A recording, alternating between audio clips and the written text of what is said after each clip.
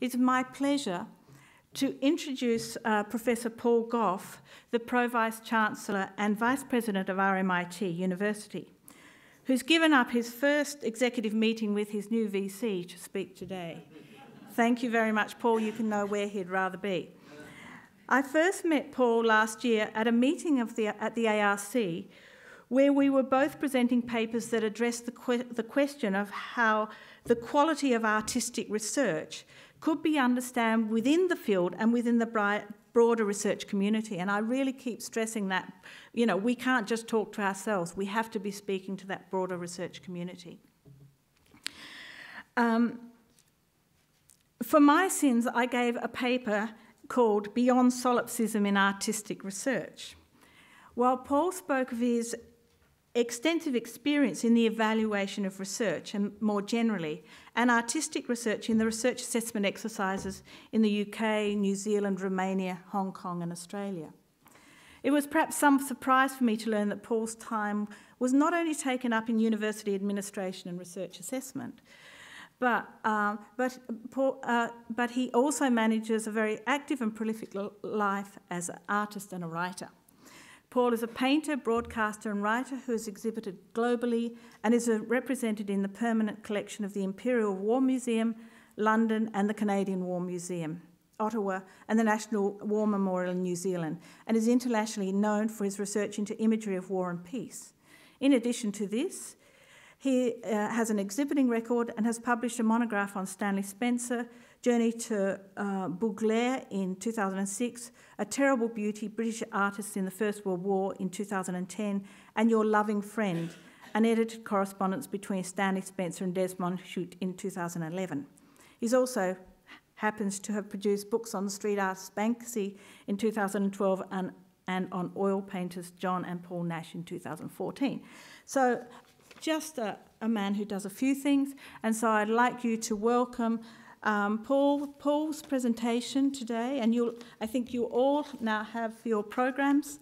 His uh, introduction today will be called Seeing the Woods from the Trees, Research Ecosystem, it, sorry, Research Ecosystem or Academic Jungle. Please welcome Paul Gough to the stage.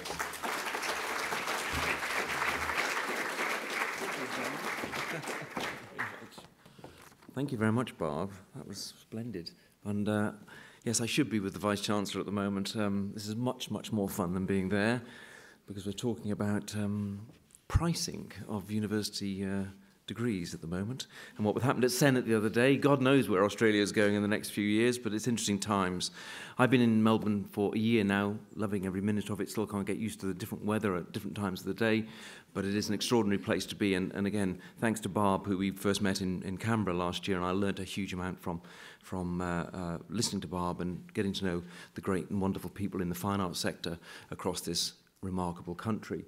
Um, the title, uh, somewhat tongue-in-cheek, partly because you use the kind of landscape metaphor rather wonderfully in the next couple of days. I think uh, uh, we're, talking about the field, uh, tomorrow. Well, Phoebe's talking about orchids, and John will talk about field as well, and someone tomorrow is talking about flowers and al almonds.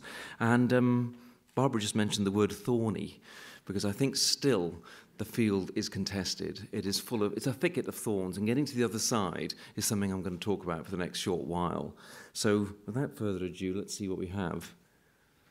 Oh, yes, I love this slide about uh, difference in what an artist sees and what another person sees, uh, the different colours that are used.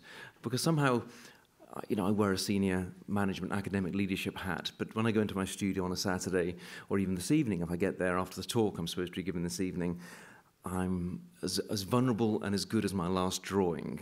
And I have to, it's a great leveler for all of us here involved in practice that we have to remember we're both engaged in the stuff, the doing, the materiality, but we also have to face out, and Barb put it so beautifully there, we have to remember we're part of an academic ecosystem that is vigorous, rigorous, and often very jealous. And I think we have to work within that. And we are working in an environment in this country, and certainly where I came from in the UK, that still likes to look upon this sector as something as a kind of quirky, uh, something quite difficult and irreverent. And I think we should play to all those strengths, but we have to satisfy the whole idea that we have rigor, objectivity, and we have a kind of scholarly uh, behavior that means our subject is, is um, both permeable but uh, capable of fending off all sorts of attacks. And that's not for me to get defensive, but we'll see where we, where we go. Um, coming of age great. Uh, I think that's so true. I think the strategic conversation that we are in now is so important. And coming from the UK and having taken part in many, many research assessment exercises over the last 10, 15 years in that country and overseas, I saw some subject associations get their act together much, much faster and then start to determine the rules in a way that uh, fine art only latterly arrived at that space. But where are we at the moment? I think the health of the arts in Australia, new report that came out last weekend, rather wonderful, rather fantastic in terms of where we are. There it is there. Don't know if you've had a chance to look at it yet. It's a big, thick report, as every report in Australia seems to be. Um, full of, full of, read the exec summary, read the a couple of pages of stats. It's Some very, very impressive stuff. So, yes, booming, but ever vulnerable, ever vulnerable to um, federal disinterest and to other disinterests. The status of the arts and research councils, accepted, but still under some pressure, lacking, one might argue, the scholarly infrastructure. Contribution of the arts to research, significant but easily challenged. You know, think of the STEM, the science, technology, engineering, medical, and maths agenda is very, very powerful. And I remember being part of a movement in the UK to add arts into STEM, to turn it into STEAM. But it didn't go, it didn't go very far. But the other argument was putting design in with the engineering and, and the like. And I took part in many um, research council strategic advisory groups where we had to start to play a certain sort of game, recognizing that there was money to be had, but it meant sometimes uh, dancing with the devil. So, yes, booming, accepted, but vulnerable. And those of us in, the, in this room who are on the kind of foothills of the ecosystem, of the foothills of the kind of mountain range in terms of fine art research, the, the start of PhDs or halfway down the line of PhDs, are part of the kind of boom we're seeing, but also part of the potential avalanches in that, in that mountainous landscape. So there's the book. Yeah, so coming of age, we're in the strategic conversation uh, a crucial step in determining the agenda. I'll never forget in the UK watching the Association of Art Historians in about 2006 2007 meeting in a crowd no larger than this and settling their differences, the art historians, the design historians, the architectural historians, and figuring out where they ought to be when the evil world of research assessment came around, and also the benchmarking exercise that was happening across, my, across the UK in terms of the, the kind of key learning outcomes. And they worked together, they settled their differences and they worked together. Fine art took a lot longer to get to that place, and I think that level of disorganization was fine. It needed to be uh, you know, some wild conversations needed to happen, but I watched the art historians sort it out. And to a degree, I think that's one of the places you are at the moment in this very important strategic conversation. Leading the sector dialogue, you must be vigilant, rigorous, and challenging, challenging each other. You know, I think there's no point in us being together unless we do argue, critique, don't fall out. There's no point falling out necessarily. But my favourite maxim at the moment, and I shared this with my executive team yesterday morning as we were looking at um, a spatial planning approach for the entire college that I run, a college uh, in RMIT of 25,000 students, and discussing space and studios and terrain is one of the most vexed subjects you can do in any university. Space is the most important thing, then it's website, then it's car parking, and then it's the size of your office. But space is one of the big ones. And I said again, a famous Oscar Wilde quote um, if two people are constantly agreeing, one of them isn't thinking. And I think what we have to do here is constantly challenge, critique, and, you know, and, and knock the corners off some of these big discussions we're having and avoid becoming parochial. Fine art is an expanding field. Um, it thrives on that kind of roaming. It thrives on being different. It thrives on mutating into different shapes. And we can see that through the presentations today. To a degree, one has to keep that alive and, and happening. And of course, you can rely on a huge amount of literature. When I did my PhD many, many years ago, there was nothing. I think there was one book called How to Thrive and Survive a PhD, or was it How to Survive a PhD? And the only diagram I remembered in it was a kind of roller coaster diagram showing the points of depression you had during writing a PhD. what we have at the moment is a lot of material out there, very impressive material, not least the work that, that Barbara's been doing here, um, uh, Leon and Richard Blythe in RMIT uh, Carol Gray in Scotland, who I've worked with a lot in the last 10 or so years. And Carol, Carol's book, Visualizing Research, describes the research path in um, a metaphor of journey. Uh, you can look at it yourself. It's very, very evident. There's um, a website that takes you on that journey from planning it, mapping, locating position, crossing terrain, interpreting the map. And I think it's very useful in terms of these strategic conversations we're having and you are having to be able to visualize. We are visual, we are haptic, spatial. We have that kind of, um, uh, I think we have that special edge as fine artists and arts educators where we can see something, experience something. And I like the idea of, of describing the research program uh, being a spatial, a geographic, a topographic approach. So, um, and this is a quote at the top here from uh, Barbara's book around the key questions that are being asked. And these are not easy questions to answer. Um, and then at the bottom, a colleague back in Bristol where I was working who came out of um, drama and created a, a, a rich dialogue around research through practice, practice as research. And as Barb picked up at the very beginning, we still use a whole cluster of words to describe practice-based research, research-led practice, practice as research, practice as research in performance. Uh, there's hundreds of them. Uh, we play around with them like some sort of crazy uh, anagram, but that's fine. I think we kind of know where we are, and perhaps we don't need to bother trying to pin it down too much. So the literature exists, the historiography exists, it is rich, and it is being enriched by events such as this. Uh, and, and long may it be, because for so long it didn't exist. Uh, for a long time, it was seen as you were kind of on the outside, and that's not fair on us because it's not fair on the kind of rigor we bring to our own practices. Um, I'll do this in three parts. I've already started talking about measuring research, the tyranny and opportunity of evaluation schemes. That's a, that's a really managerialist thing to write there. I read that with great relish at 11 o'clock last night. Um, learning from elsewhere, common mistakes. Got to keep looking out. You know, I was involved in the research assessment exercise in Romania, of all places, as one of 30 EU experts. That was a, I learned lots of lessons there, lots of mistakes, uh, largely to go in the room that didn't have the air conditioning. Um, learning from each other. How can DDCA continue to drive the conversation? So I'll try to allude to those three fairly rapidly. And why are we here? I'm going to talk a little bit about research evaluation even if you're involved in your PhD, your supervisor will be involved in a world of research assessment, of measurement, calibration, of understanding what difference is that research, what difference is that practice as research making. And I guess we are in, a, in a, um, an audit society. Knowledge society uses instruments for a competitive edge. And there's a new um, paper out by an ex-vice chancellor in the UK who now works at the Institute of, London, of Education in London, Peter Brook, which I, I borrowed some of the ideas from here because he's managed pithily to say two things. That in general, the arts, humanities and social sciences are booming, much like the arts are here in many ways, and yet we know how tough it is and we also know that out there, there's a lot of people want to measure what we're doing, and we have to respond in particular ways. And so there's an anxiety at the same time as growth. We combat complexity of, of mass higher education. Higher education could not be a more complex landscape. Uh, the sheer volume of compliance, the, the ambition for inclusion, the idea that we're still caught in this big debate about regulation and deregulation, a market economy that's trying to drive change through higher education, uh, is, is means that we, we use audit, we use calibration as a way of trying to control some of that.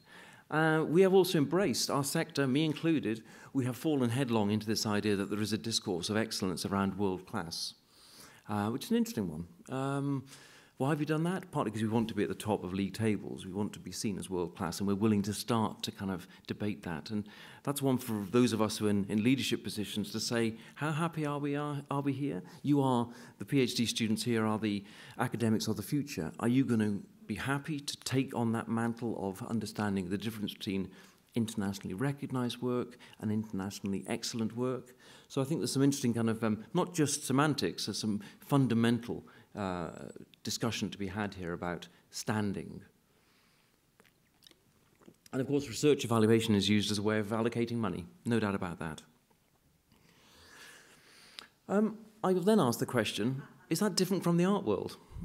The world that I operate in. Uh, I've shown in galleries, uh, I've sold the odd painting here and then. And is it different? Are we in a parallel world?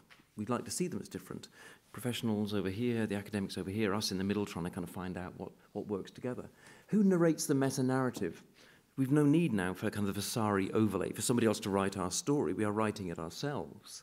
What's the status of gallery the commission, the prize? And in a sense, we are part of that. We endorse the notion that there are competitions, there's hierarchy, there's world classness. And we have our own minds that a gallery there has a different status to one here. And I think one of the things I've seen more of in this country is a ready acceptance that that, that taxonomy, a hierarchy actually exists. I would argue, and I've argued in the UK, and we got our, our way there, is that the intrinsic quality of the presentation, the practice, the research is what you look at, not where it's been exhibited. And that's quite contentious, but it's just a point of view. And then this whole thing of professional practice versus academic. What is the difference? You know, when I look at research, practice-based research, I have to ask, often in the design areas, where's the where's the, the interface between advanced professional practice and research? What are the indicators? And as PhD students out here, you will know what the indicators are. They're about method, they're about context, they're about field of inquiry, they're about rigor. Getting those right is hard. And I think it's one of the things that's challenging any of us. Uh, and having just gone through the, as many of you have, the era of preparation where you're trying to write that statement, trying to lend an objectivity to the process of practice isn't easy. Oh, that's my, my background in terms of the global spread of research assessment. It's like some sort of virus that travels around the world like Spanish influenza and wipes people out. Uh, that's my experience of UK, Europe, um, Romania, uh, New Zealand, and recently last year, I've spent much of last year, it seemed, in Hong Kong assessing the research in Hong Kong. Uh, and people performed extraordinarily well. There is such a quality of fine art practice globally within the academy uh, that it's, it's a privilege, an absolute privilege. It's bloody hard work, but it's a privilege to be able to see so much work. Oh, there's me uh, with my team in Hong Kong, and there's a room I spent like months and months of my life in. A, rooms without windows are very difficult, aren't they? But they're perfect for research assessment. So, so basically, thousands of items, boxes of, of catalogues, of, of uh, books, of um, CD-ROMs, you know, Sonic Arts, you name it, come through the door and they're evaluated by two to three evaluators. And this is a, this is a global uh, tendency now. And there are colleagues in the room here who will be taking part in ERA. And there are others who one day will end up being on panels in this room and will play a part in that and will bring to it all the kind of probity and sincerity and integrity and, and get a sense of that privilege to be close to such a great body of work and then have to kind of sift it. Anyway, what's interesting about research evaluation. Uh, and PhDs play a part in this because they're part of the ecosystem, because every single uh, researcher practitioner in an art college will have uh, PhD students, is that they look all the same. Uh, research evaluations. Okay, in Hong Kong it was slightly different. There was a vast amount of money at stake, uh, around about 5.6 billion uh, dollars. In the UK, we're now five times into this. There's again significant amount of sterling, 1.5 billion at stake uh, in Romania, a very, very light touch. Uh, the best part about being in Romania, which I've shared with people here before, some people here before, is they kind of didn't show us the artifacts, the objects. They took us to the art schools. And visiting the art schools was just great fun. He went into an art school and they said, here's Brancusi's sketchbook when he was a student here. And I thought, well, you know, bugger the, uh, the research assessment, this is much more interesting. Uh, New Zealand, very different approach. Those of you from AUT are here will know the New Zealand approach is very different. Grades every individual, uh, a very different um, uh, approach to research assessment rather than seeing the, the output on its own. Uh, I enjoyed the New Zealand assessment exercise enormously. I thought it was very, very brilliantly run. Um, and yet they're all the same. They look different, yet they're all the same. They use indicators of excellence, significance, originality, rigor, background, contribution, significance. The language is somewhat similar. Peer or expert review is essential. Um, there are some concerns I've already mentioned. What does world leading mean? In Hong Kong, we had many, many tense, not tense, but interesting, deep discussions about the nature of region, the nature of nation, the nature of community, the nature of, of state identity, given their proximity to different scales of country. Uh, and you have to bottom out those discussions quite fully before you can even go into a discussion of what uh, regional is, or national is, or world is. And those are, they're not just epistemological, these are fundamental in terms of understanding how to assess an environment. And then at the bottom there, the inexorable pull towards the hardback book, the cover, inexorable. And, and you have to keep, and I do, and I went on the road, you know, all over the world it seems, saying, practice matters, that if you can articulate the research content of um, a body of work in ceramics or in silversmith or in uh, media or in textiles or whatever. and not just medium, but just if you can articulate the, the integrity of that practice as research, then that's important we do. And I've met vice chancellors and rectors and all sorts of, of very august art, design, media organizations who have said, yeah, but look, if it's inside a hardback cover, you know, it really matters. It feels weighty, you know? So we have to uh, watch that. And I think panel members and those of us, all of us here really have to make sure that in terms of integrity and probity of approach, we are squeaky clean because there is a tug, just as a tug towards STEM funding, there is a tug towards a respectability of, of book, of text. Uh, so just a, a word there of caution. And again, our, our subject, as you see from the abstracts, uh, wonderful abstracts that have been put together for this next few days, we are diverse, we are impure, what, what a chemist would call, call um, an impure amalgam, you know, hybrid activity that we've created, we've generated. We stray, we stray from um, the world of media across installation into computer science towards microelectronics. You know, I've seen all sorts of extraordinary work with animation working with neural scientists. So we are permissive as a, as a, a subject, and that's one of our strengths. It may also be seen as one of our weaknesses. Um, the challenges we face, there are many challenges. In fact, the middle section of this is all about challenges because we have to be fairly honest to ourselves. Is a challenge when each of you are working on your doctoral program or each of you are working towards um, your HERDC return or each of you are trying to locate the research output. At what point does process become product? Big question here. Big question. I don't go into my studio and think, uh, you know, maybe I do. Uh, I know what product I want at the end of it. The process tends to kind of lead. Process takes me in all sorts of places. At what point does research assessment allow process to be evaluated? Big discussion at the moment about policy papers, about grey papers, about professional papers that will not count at the moment, I think, in HERDC. So, you know, we need to think about when process becomes product,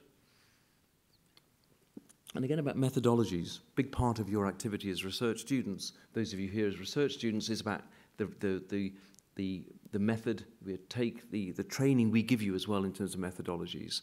Very, very important in terms of the, the initial, the early stages of your PhD. And then action research. The paper I was mentioning by Peter talks about who are the actors in this? Is this really just action research or is it more than that? And what is the quality of our, as I said, research methods training? Uh, and can we stand by that nationally um, through doctoral training centres, through an agreed programme, etc., etc.? Um, the other one, the other challenge, I guess, very much is uh, what's the interpretive framework? This is one of the problems many of us face in terms of writing up and talking about and articulating. I've got a little example in a second of articulating the, the researchness at the heart of what we're doing.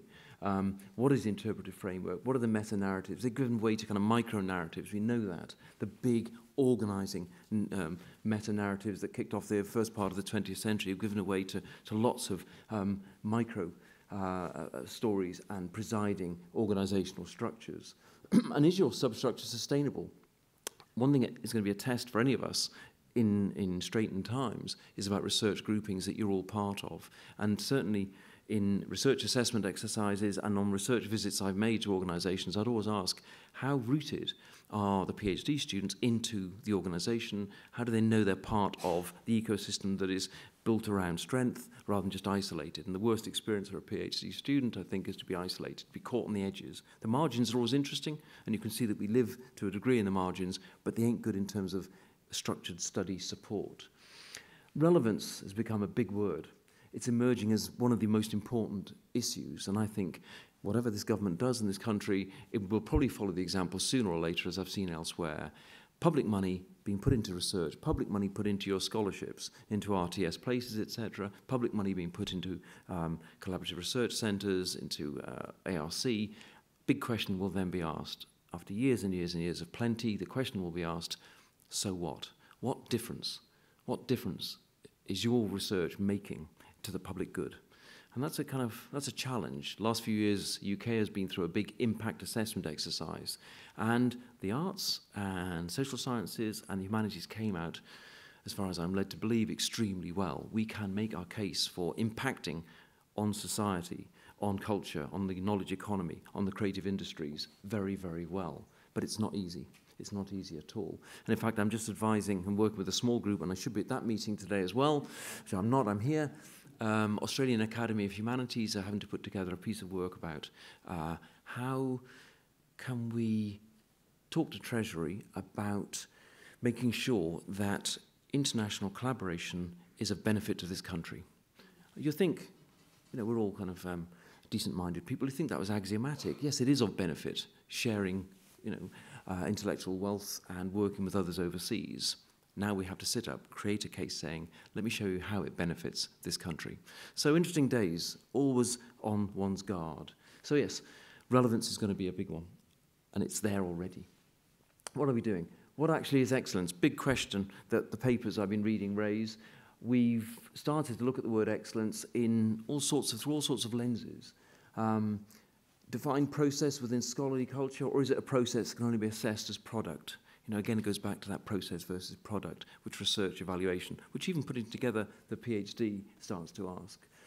And of course, should it rely on an expert review? Expert review is an interesting one.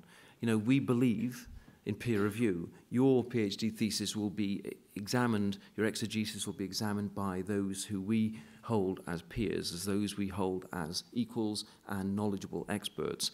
But peer review has its critics, of course. It requires a well defined community that already exists, and of course, your subject areas are in areas that may not yet exist. Uh, aligned scholarship, interesting. Are we all aligned? Peer review is innately conservative. It works to existing paradigms and it struggles with interdisciplinarity. We know that. We know how difficult it is. Uh, I know how difficult it is to get supervisors or examiners to kind of look at work that goes and strays across many boundaries. So peer review is, is held as being the kind of the touchstone of quality assurance in research and PhD, uh, HDR study, but certainly uh, it's under pressure under pressure because we're asking all the right questions of it. What's the alternatives? Well, they're not much better. They're not much better. Metrics? Wow. This, this whole sector kind of, whoa. Metrics, input and dollars. And that's one very easy metric to run over any organization. Uh, I think we can kick against that, but we also have to understand what might be gained by working partly with it. Or performance indicators, output and impact. This is a kind of managerial language I live with all the time, um, but I think to a degree you have to understand this is around and amongst us. Key performance indicators, output, impact, and metrics. And as you gain confidence, or already are confident as a, as a subject uh, sector and as a, um, an association, and as you come of age, you have to start grappling with that because it's not an easy one. And I know there are very, very, very bright people in here who are well on, uh, well across this challenge. um, you all know this back to front, but it's always a good reminder. So, last few months, many of us have been involved in helping our colleagues, helping, chastising, shouting at them, encouraging them, supporting them to write creative work statements to make sure that this definition, which we will be uh, assessed against, is understood. And what goes in and what is required has to be understood. Many of you will be able to play this back to me verbatim without, with your eyes closed. Uh, others will grow into this. And again, this isn't just about us in leadership positions, those of you doing PhDs who will move into this world will have to inherit this and shape this in your own way in the next five to ten years because it ain't going to go away. It's part of our kind of, um, uh, it's part of the, the, the water we swim in. And this is one I asked um, recently. I asked some staff in my place, what are the challenges putting together creative work statements? What are the challenges in articulating uh, practice as research? And here's, here's one of my colleagues wrote to me saying, I see this. I see this. Uh, Frederica Smith, curator, invited me to show my work, The River, as part of Tantamount. I'm not, I'm not, I hope this is unreal, a, a fictitious one, not a real one, but it's anyway just um, an example. This is what was returned as an idea for a creative work statement. It was shown in an exhibition in Berlin, later sold to a major national gallery. It was reviewed by The Age. I don't think I have the press cuttings. I love that. I know that. I know that. You all know that. You can see people thinking, "Oh God, I've had a few. I've had a few of those." across my desk, or, or I've had a few hundred of those across my desk. So, so what, and this is fairly new to me because I've been different, used to different systems, but this again, a synthesis of discussions with colleagues uh, in my university and other universities, is how we might have to kind of um, approach this, especially those who are new to it, because it's, it's a learned language, it's an academies you have to learn. And, and certainly those of you doing PhDs have known that you have to learn a certain way of articulating uh, the thoughts and the practice. Um, talking in general terms, describing it as if you're describing to a student or to a group of students or to groups of colleagues. One thing I've done in the past is using interview technique. We just talk to people, elaborate, but by and large, you have to make the first go yourself. You have to write, write out long, and then expect long uh, sort of sessions of redrafting. And we're very uncomfortable. I, I, don't mind someone scribbling all over my own writing because I, I, I, write very clumsily, and I think it's very hard actually to write artist statements, which is a sense what these are. And certainly the work that Barb has done and illustrates beautifully in the book talks about ways of approaching this task. And I think as a sector, one of the things one can do, and as, a, as an association, one of the things you can do is share this knowledge uh, and make sure that although you're in competition with each other, a lot to be gained by sharing. And go back to the art, uh, the artists. Um, uh, Association of Art Historians uh, that I told you about in the UK, they deliberately set out to share and to arrive at a pooled uh, position. They knew they were going to be in competition to a degree, but they sensed that there was more to be gained by sharing. There's more to be gained by trying to trade fellow, uh, sort of uh, trade secrets, as it were. Um, so those are kind of ways in to, to articulating this. There are other ways, but I was just kind of curious to ask my people what it was like. And so final section, really, which is about how you articulate the researchness in practice. I've shown these slides before to you, or to groups of people, in fact, all over the world, because actually there's some very, very kind of uh, fundamental questions you ask about what is the contribution. Hard to get that, isn't it? What is contribution to knowledge? First of all, that's a big, big kind of question, isn't it? Distinct from existing research. What's the field that it's in? Those of you who've got PhDs uh, or have done them recently know you've had to find this. You've had to make what's an original contribution, which is an immense ask of anybody. The nature of the original investigation of the inquiry, what were his hypotheses. When you run these questions past colleagues and asked to, to elaborate, it's actually a, a very helpful framework for starting to explore some of the kind of inner workings, the innards of one's practice and one's approach to practice. Key one here goes back to process and output. The work that we see, the work that enters um, the discourse, is in the, has to be in the public domain. And this is as true of PhDs as it is of research output. One of the hardest things I think at the moment in any country is finding out who's doing what in PhD, not what who's published or who's, had, who's finished their PhD, but who's doing their PhD in what subjects. That's why these sessions are so essential. Um, you know, can it be accessed? Can it be seen? Is it available for future scholars. And the bottom one at the bottom there, can future generations of researchers access the new knowledge? How explicit can you make that new knowledge? And I think there is something upon us to make sure that our repositories, that whether we're using Supernova or whether we're using Kultur uh, or whether we're using a whole load of different sort of uh, approaches to uh, creating libraries of knowledge, that we enter into that willfully and respectfully because I think we have to, as an academy, share so much of that knowledge. Not easy, but I think that's one of the burdens of us as educators. And of course, the um, question I've just been talking about, a peer review. How do we trust that? Who scrutinized it? What were the processes that your work went through? We know that the gold standard of PhD is that external examination, is that evaluation, is that thorough investigation by, uh, by examiners. That's seen as being the, the, the threshold. Likewise, in terms of the practice-based research. And I think that we have to be sensitive to some of the tensions in the art world about you know, allegations of favoritism, allegations of bias. And certainly when we were in uh, working overseas on research assessment recently, the tension between what the government funded and what was not funded, the nature of national versus um, local patronage, was something that was sort of under the surface quite a lot, and we had to spend quite a bit of time bottoming that out. But again, peer review is meant to kind of make sure that uh, the level of scrutiny and the objectivity and the rigor is held in place. And then impact and afterlife. One of the things that this sector, that each of you as practitioners has, and I guarantee in that pile of press cuttings, in that pile of reviews, uh, web hits, etc., we all have a rich kind of afterlife for the piece of work that we produced. And one of the recommendations made by colleagues who've been working on um, uh, creative work statements is even if the reviews were bad, we can still build, build those in. I think it's very important that that trail, that trace of reception, public reception, is kept. And so those are very important kind of uh, messages to send back about keep good records. Uh, it's not an easy one to uh, get right, but it's important. I put this up, it's not fair, because I put one called the best design, and then this one follows the worst fine art. But having looked at thousands of items of, uh, and again, hundreds of PhDs around um, fine art, what are the mistakes that we make? They're obvious in many ways. You'll know these. The evidence is appalling.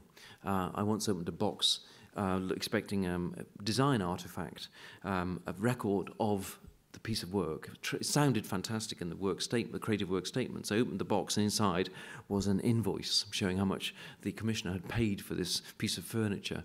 And that is one form of evidence, but it wasn't what I was looking for. Um, can't identify the research content. It doesn't shift the agenda.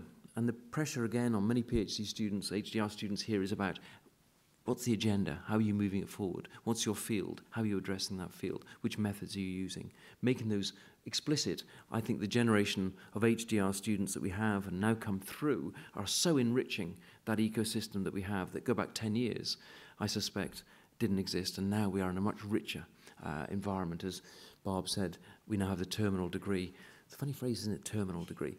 I don't like it at all. Um, but we have such a richness of experience in the country now. Uh, and I guess the final one there we have to belong to a family of research in the institution. Lone scholars are fine, but no one's a lone scholar. We are networked, and making the most of those networks is very, very powerful.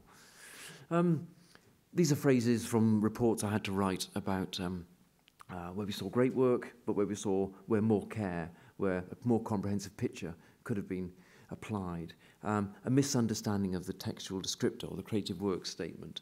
Most, most of this you'll either understand or actually might willfully ignore because it will come around in four or five years' time again.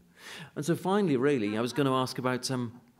Um, uh, Bob mentioned uh, Banksy. What I've done so far is covered research as an evaluative tool. Uh, mentioned about peer review. I mentioned about the ecosystem we're involved in. I mentioned also the sheer buoyancy of the sector we are now in, but the danger of being complacent. I've just touched on the richness of the of and the depth of learning and the depth of experience that is just in this room. But if you multiply that globally, if you multiply that across this country, you get an extraordinary kind of sense of how how fast and how mature our sector is becoming, but also how rigorous it has to be. So I've covered some of that stuff uh, in some, uh, moved quite quickly across it. And I was going to finish on a few slides because a few years ago I uh, put a book together about Banksy. And um, fascinating. I was just wondering. I was working on this last night, saying, "God, all these all these words. It's a bit dry. This isn't it? A bit bit dull. Um, I hope it isn't. Hope it isn't. Hope it's been interesting. But um, I thought, what would Banksy ever want to do a PhD? Would Banksy ever want to study at HDR level? And um, and I was thinking, probably not actually. But uh, all the same, I thought I'd put some pictures in because um, in putting together the book on Banksy and asking some questions about um, authority, about um, uh, invisibility, about um, control. Struck a lot of kind of chords with some of my journey doing my PhD. Banksy is very interesting, the world's most uh, famous unknown artist, and yet you don't have to go very far, and I know this, go very far to find out who he is, which hospital he was born in, what school he went to, who his mates were, uh, the fact that he played in goal for a team called the Eastern Cowboys. You know, I, I could, I could write, it's all available. Um, for a price, I can tell you all this. But um, it's all available, and yet the choice of being anon- anonymous is his, partly because he says, uh, I'm still wanted by the police, and because anonymity suits his, his approach to his practice. Uh, it also fits in with a set of uh, political principles that he still wants to hold. And I say he guardedly because I still wonder whether it's he, she, or they. But let's use he for convenience. Um, and also, it's about a positioning vis a vis the art world. So, showing in West End in London or showing in posh uh, galleries in New York was all seen as something that Banksy didn't want to be involved in. And I think it was that interest in invisibility and yet authority and autonomy that struck me as being something that we are in attention in our own worlds about how what I've been saying thus far is saying, let's get out there, let's join in, let's share, let's actually um, make ourselves hyper evident as both a subject sector, as a subject discipline, as individuals. And I'm fascinated by Banksy and his crew, who work in a very different way. Um, and I'm fascinated also by how they choose to kind of articulate their practice, uh, how they contextualize their practice through certain use of the written word and through certain use of social media, um, and also how they use. Oh, that shouldn't be there, excuse me. Um, how they use all sorts of means to incorporate text and image. And I guess the other one that interests me hugely, and to my great cost, and on another occasion I can bore you to death about my encounters with his IP people, um, namely uh, Pest Control Office. Pest Control Office are the group that look after his commercial interests. Uh, um, and again, it struck me about something that we're all involved in, in terms of articulating ourselves publicly, uh, hopefully earning some money on the back of it, or at least paying our salary on the back of, you know, working our salary on the back of it, and how someone like Banksy works in very, very different ways. Banksy is not PhD, he's certainly not in the world of fine art uh, practice, but there's something quite fascinating of the interface between Banksy's activity and the crowds that it attracts, the interest um, that generated in New York during the residency, uh, and the interest that certainly I can generate in, uh, in the press, uh, with the public, and with people who want to know a bit more. And, you know, come the day when they want to know more about HDR or about um, the creative economy or whatever kind of interests me. The last slide is there's the book, $20 on Amazon. Uh, um, and then the final thing to close on, um, because I've somewhat gone away from the subject of the field, the thorny field of, um, of practice based research. But about three years ago, I was contacted by the BBC, and they said, um, "There's a new Banksy just been found in North London." And I said, "So what?" You know, um, and they said, "You're a professor. You've written about Banksy. You obviously know uh, whether it's a real one or not." really? Uh, okay. And I, I, thought for a few seconds. There are three tests, three very simple tests for Banksy. One is um, if it's a real one, it'll be on his website. That's the basic one. Second one there's something about the quality of the painting, the quality of the practice that interests me about Banksy. And I've done stencils, and many of you may have worked in stencil, and you can paint very badly in stencil and very ordinarily in stencil, or you can paint with a certain kind of brushstroke, a certain sort of feathered brushstroke, and you can apply white, as Banksy does, and gives it a kind of a painterliness, which is you know, very different. So I said that that's the second one, that it's about um, the quality of the practice, the method used during the making. And the third one is about context. And I said, if it, watch, look where it is. Look where it is. Uh, there's a very famous Banksy in Bristol of, um, it's called Well Hung Lover, and he's a naked man hanging outside a window, naked, and from the other side, inside, is the, the, um, the husband, cuckolded husband, looking out the window. And it's very well known, some of you may remember the image. And it wasn't there for any, any by accident, because on the other side, uh, in the offices is a, um, a sexual health clinic. And context is all with Banksy. And as John Latham said, context is all in the world of fine art as well. And context is all about what you're doing and what we're involved in. So I said, where is this piece? This is a piece that shows a, a, a child labourer in possibly in the subcontinent in Bangladesh or wherever uh, during a year when the Queen's Jubilee was happening and all sorts of Olympics were happening. So there's a kind of commentary being made there. And it was happening um, in a, on a wall. It was painted on a wall next to a supermarket called Poundland. And Poundland had been in the press a, year, a week before for exploiting child labour in India and Bangladesh. So context is all. And those three tests, you can run past it, and, um, and there are other things to say about it. And lo and behold, you get written up straight away. You're on the, pre- you're on the, on the money there. Suddenly I was an expert. Suddenly I was insisting. This, this can happen to any of you. I was an expert and I was insisting. And first of all, I'm not an expert and I'm not insisting, but even better, I'm going to stop at this point. I am a highbrow, specializing in Banksy. I've not been called a highbrow. Thank you very much.